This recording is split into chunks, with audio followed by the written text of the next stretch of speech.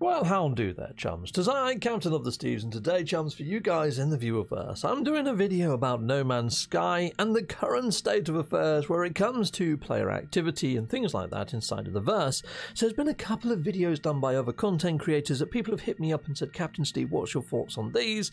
So yeah, might as well pass comment. So there's been videos put out there, Game Over No Man's Sky by Elite Gamers, and there's another that says, um, Is No Man's Sky Dead by uh, Jim's NMS or Jim's Games. Um, so yeah, very valid videos, I suppose, in a roundabout way. But I'm going to be looking at as to why I don't think there's cause for concern out there in the viewerverse, so no need to worries. But yeah, we get into that. So I done a poll over on my own community tab. So if I jump on over, here we go. Boom. There we are. Let's let's move Winamp down a little bit. Let's put that underneath there. Nice. I do like good old Winamp. So here's my poll here. So yeah. right, let's just make it a little bit bigger on screen. So No Man's Sky slows down this time of year every year. Why do you feel this is? Now, I've done this poll mainly to see whether it rings true to the way that I feel. Now, Hello Games always downs tools around this time of year, and they don't sort of pick up tools until around about February of the following year. And there's good reason for that, which I get into into a moment. It's not just because of Christmas, it's to do with financial years and things that are a little bit boring, but we'll touch on it anyway. Right, okay, so Hello Games rarely releases a content update in winter, mainly because their larger content updates usually drop in summer.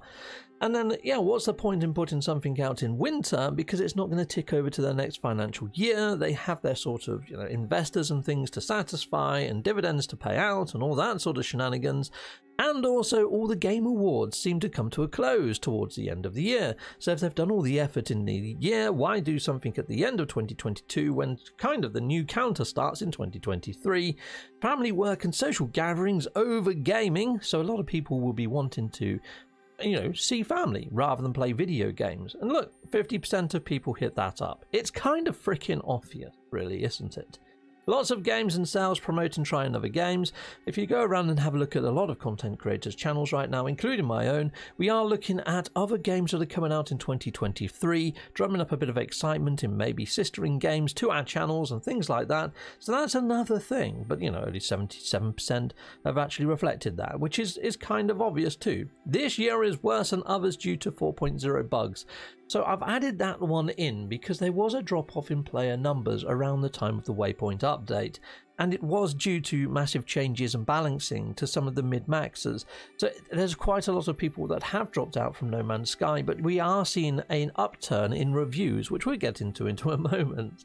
So yeah, and then I put all of the above. So it, it does have a little bit of bearing, all of the above. But yes, if I had to say anything, is to do with, you know, Hello Games rarely do anything this time of year. So if you jump on over to the Hello Games Company House page, so over here in the UK, whenever you have a business, you have to register it on Company House. And in here, you can file, every single company files all of their reports and their statements through the years. And you can go and see that there's patterns here, and you can look into here to show that they do submit their accountings around the end of August to end of November each year without fail. So why would they put out a massive update just after they've filed their taxes and their returns and their profits and losses and all that sort of shenanigans for the year at the end. It makes no sense for them to do so. So we wait until it ticks over to 2023, and this is kind of a pattern that you can see. So if you've been following No Man's Sky for a long time, like the people that have been covering No Man's Sky since day dot, you already know this pattern. You already know to go and check on Company House for things and so forth and so on. Because sometimes they do mention other IPs they're working on. I have checked this one out, all full 27 pages. There's no mention of their new project as yet. But they did mention that they were working on a shorts, which happened to be the last campfire in previous tax returns. So it's always worth taking a little bit of a nose. Anyhows, we have the expeditions that are running across this year's Christmas festive period, and we've been given all of the dates. So every single time that one of these ticks over to another one, you're going to see a little spike in player numbers. Not a massive spike in player numbers, but I'd imagine there's a lot of people that have picked up No Man's Sky now on Nintendo Switch and are going to start playing No Man's Sky a little. I mean, I am seeing my views still quite steady on videos. I wouldn't say they've completely bottomed out. I mean, yeah always covering No Man's Sky content, it's always a bit of a roller coaster. Whenever there's an update, there's an uptick, and whenever there's not, there's a bit of a lull. Now, that used to be a lot worse, going back to when we, you know, before Next and Beyond and the like. Now, Hello Games seem to spread out their updates through the year. Every two to three months, there's a new update that drops that brings in some content and something to do alongside another expedition. And it seems to be smaller chunks, that we're not seeing the massive spikes and the drops off like pure roller coaster mayhem that we were seeing a few years ago. So maybe that's where they're uh, alluding to that they're seeing this drop off and they feel that No Man's Sky is dying.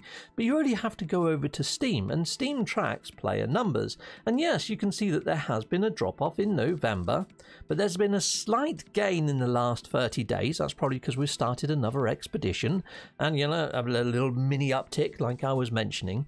But what you need to do is not compare it to when we've had a, giant update and oh look only back in july we had 40000 now we're down to 12 oh woe is us. The world is ending and no man's sky is coming to an end. No that's that's not it at all. You need to compare these numbers say like over this period where we're seeing a lull october through to say um January, I'd say, but we need to wait for that data to appear. And you compare it to previous year at the same time because they follow freaking patterns, like I was mentioning with the filing history. So when you look at November of previous year, yeah, 13102.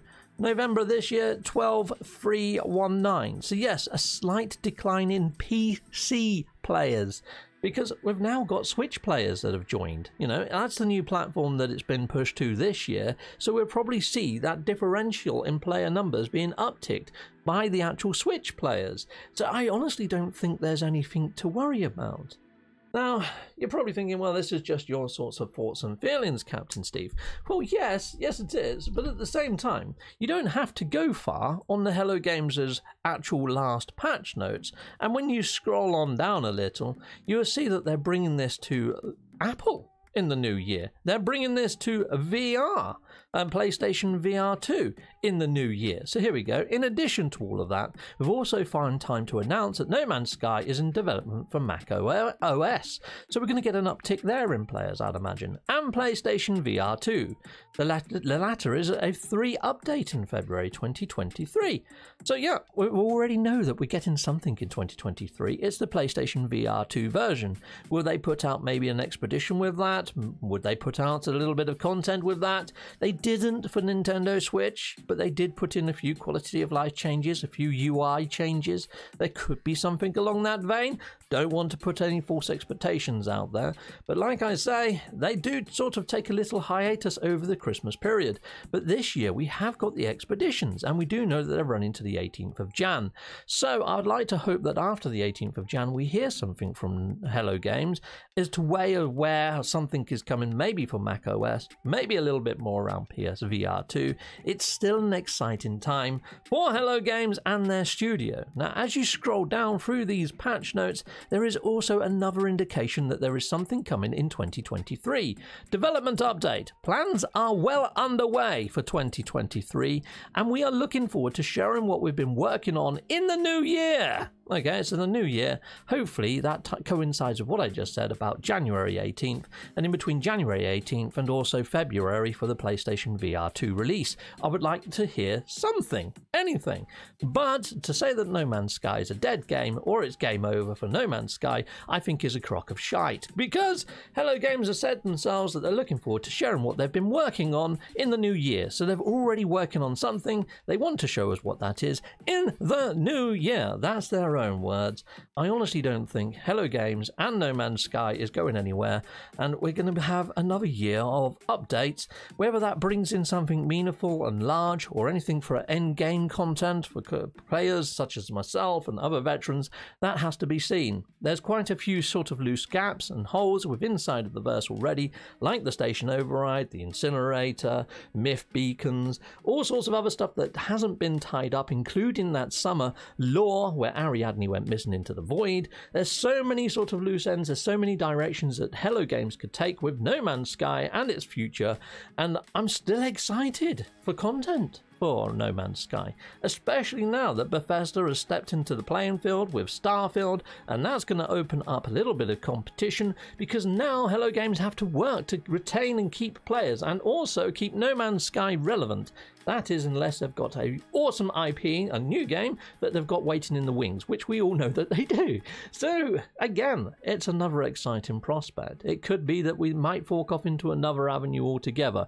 But is No Man's Sky dead? Heck no. Heck no, it's not. And am I worried? No, no, I'm not. So I am very excited for the new year although the 2022 didn't quite deliver in quite a lot in the way of content, it did give us more advanced sentinels. It gave us outlaw stations and where pirates actually come from, which is something that a lot of people have been asking for for a long time, like pirate strongholds and all that sort of shenanigans, it does sort of open up that sort of avenue.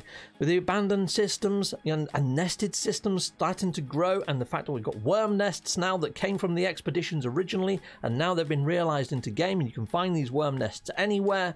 I'm liking the fact that some of the things that have been realized inside of expeditions and now in actual game. I love that and I like that sort of delivery. The fact that we now got Laelaps as a little mini drone, which was a nod inside of the lore for so long and then has actually been realized, makes me think that what we see in the lore is something good to speculate on in what might come into game into future versions. So I'm still very excited. I hope that's coming across. And if you are seeing these videos that are a little bit negative Nelly around No Man's Sky, uh, I wouldn't worry. I wouldn't worry. I don't think it's it's dead in the water or anything like that.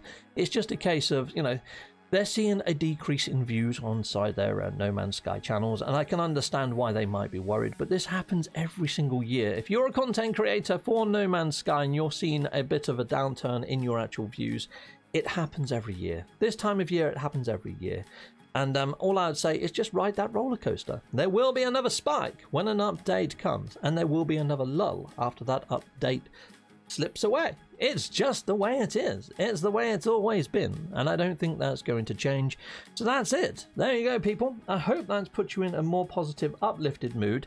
And um, yeah, that's pretty much. I'm not going to pad this out any longer than it needs to be. Um, I would just say, yeah, I'm very much looking forward to 2023. I've already done my wish list videos. If you'd like to see what I'm hoping to see in 2023, I'll put a link in the top right hand corner to one of those videos, and I'll put another on the end card because I've actually done two. I've done realistic expectations and then my super wish list. Yeah, I've done two of them. So if you don't see, see them on the end card or whatever, then just look on my channel. They're fairly recent. I made them within the last month, but you'd see I'm quite busy when it comes to putting out content. so yeah, happy hunting for those two videos. Yeah, if you just put in Captain Steve wish list, they should come up. Anyway, people, take care and thank you very much for watching and listening. And uh, yeah, I'll see you on the flip side. Heck yes. Goodbye, goodbye, and goodbye again.